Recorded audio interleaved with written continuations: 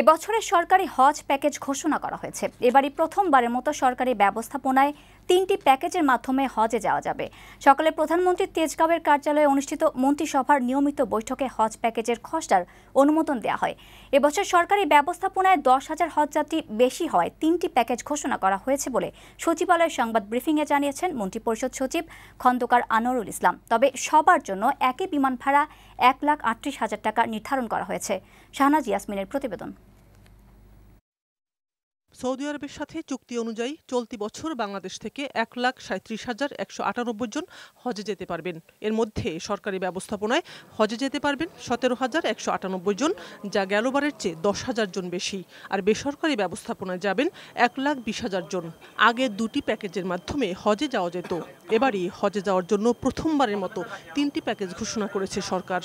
সোমবার সকালে তেজগাঁওয়ের নিজ কার্যালয়ে প্রধানমন্ত্রী শেখ হাসিনার সভাপতিত্বে মন্ত্রিসভার নিয়মিত বৈঠকে হজ প্যাকেজ দু হাজার বিশের খসড়ার অনুমোদন দেওয়া হয়েছে।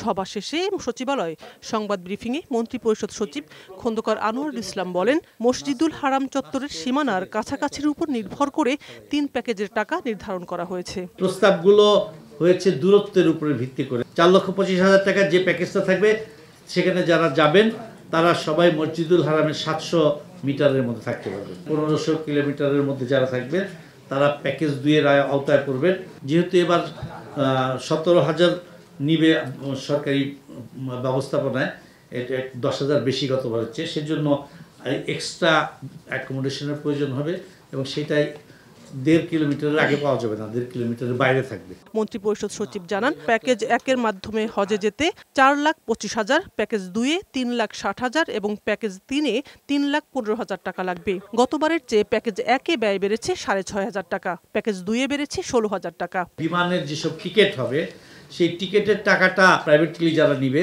ব্যাংক থেকে তুলতে পারবে না। সরাসরি বিমান যেই টাকার কথা বলবে ওইটা ব্যাংকের থেকে যাবে পরে সেটা ব্যাংকের ইন্টার ব্যাংক ট্রানজাকশনের মাধ্যমে বিমানের অ্যাকাউন্টে চলে যাবে। সৌদি বা অন্যান্য এয়ারলাইন যাত্রী পরিবহন করবে সেটাও ইন্টারন্যাশনাল ব্যাংক অ্যাকাউন্ট নাম্বারের মাধ্যমে সৌদি আরবে প্রেরণ করা ছাড়া এজেন্টরা তুলতে পারবে না। সরকারি ব্যবস্থাপনার এই তিনটি প্যাকেজকে অনুসরণ করে বেসরকারি ব্যবস্থাপনায়ও হজ এজেন্সিগুলোকে যাত্রী পরিবহন করতে হবে।